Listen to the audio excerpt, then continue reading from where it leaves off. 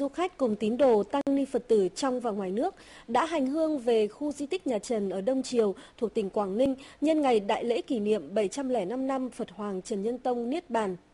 Nếu Yên Tử là nơi Phật Hoàng tu luyện, giảng Pháp, độ tăng, thì Am Ngọa Vân là nơi kết thúc trọn vẹn quá trình tu luyện, hóa Phật của Ngài. Nhân dịp này, Trung ương Giáo hội Phật giáo Việt Nam, Giáo hội Phật giáo tỉnh Quảng Ninh phối hợp với Ủy ban Nhân dân huyện Đông Triều tiếp tục triển khai các phần việc để khởi công trùng tu, xây dựng chùa Ngoại Vân vào đầu xuân 2014.